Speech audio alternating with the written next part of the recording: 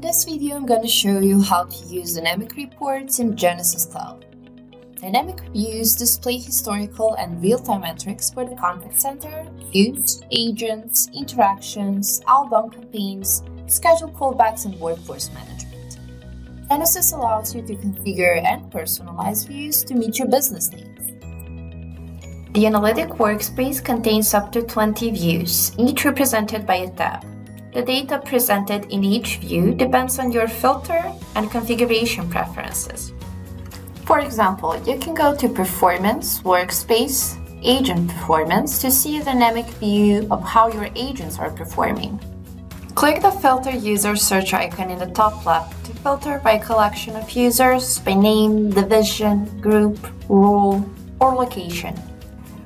At the top of the screen, you can define an interval for the data. For example, you might choose the current date for an up-to-date look at performance, or you might choose the past week to see how performance has changed over time. In the right corner, click the filter icon to filter by media type, skills, languages, direction, and more. Click on the plus icon, then modify the columns that appear in the view. Click Export. Enter your email address, then select Schedule Export.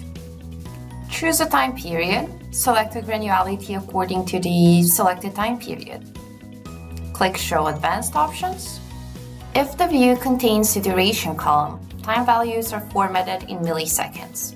To format time values in hours, minutes, and seconds, select the Format Durations option on the Export Export your data from selected views as a CSV file or a PDF report delivered to your inbox in Genesys Cloud. For CSV export files, select the comma delimiter or semicolon delimiter to separate values.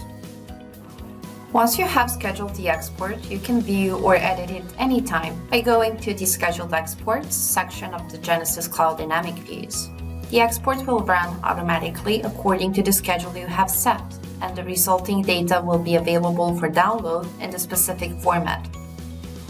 Today we support a limit of 20 concurrent schedules, and if you need to run multiple, you can disable one and then enable another as opposed to having to delete them.